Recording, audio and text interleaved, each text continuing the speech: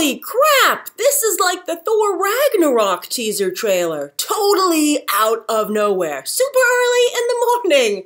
Okay, so let's see. Let's see what Pixar's got. I thought this story was done, uh, but Disney Pixar feels otherwise. Uh, hopefully creatively, uh, but they certainly do business-wise. They just built Toy Story Land. Um, well, they have a couple overseas, at least one, but they just recently opened one at Hollywood Studios in Florida, which I'll be seeing soon. I'm very excited about it. Uh, so I'm looking forward to seeing these characters again. I like Woody and the gang.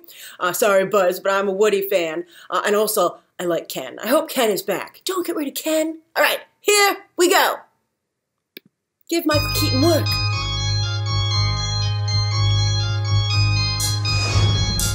It's crazy music.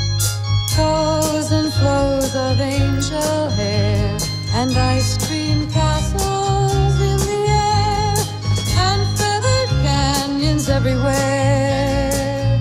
I've looked at clouds that way, but now they only. In slow motion, she's so Jessie. They rain and snow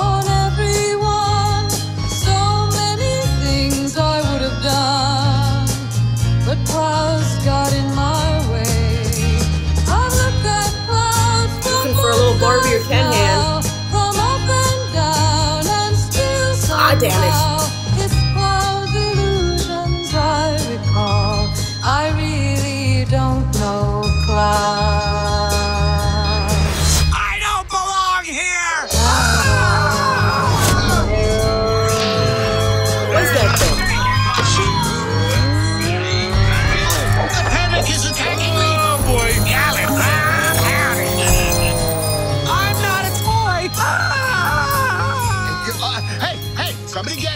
he pokes an eye out.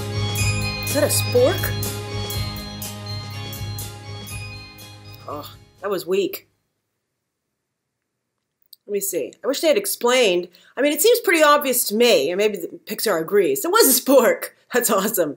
Um, that's a toy that someone made. And if you play with it, it counts as a toy. Look, it's even got a rainbow sticker on one of its feet. Is that gum? I hope that's not used gum. I hope that's like Play-Doh? I don't know. Maybe that's like a Sid-like toy. I don't know if this deals with children's creativity. That could be interesting. I don't know where that kid found different size googly eyes, but good for them for thinking of using different size ones. Uh, I find that toy actually kind of appealing. But I didn't think I liked the song choice. I thought that was that was cute, although it made it seem a little like toy heaven. I'm like, Pixar, don't even go there again, trying to make us cry.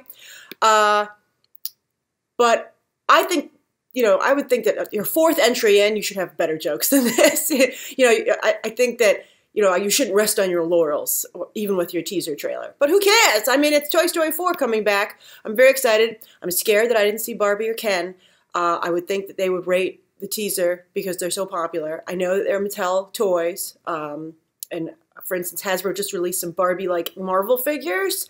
I don't know what's going on politically behind the scenes, but you better fix it because I want Barbie and Ken in the movie.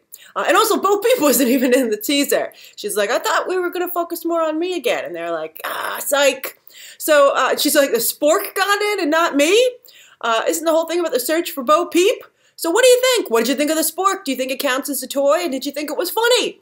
Uh, and if not, uh, I mean, obviously we're all still excited. All right, so right your, when I saw the running time, I was like, oh, they're going to have something cool in there, and they didn't. They just were slow motion. All right, it's no Thor Ragnarok trailer, but summer 2019, it is on. All right, write your thoughts down below. Thank you for watching with me. And of course, as always, you can check out some more videos right now.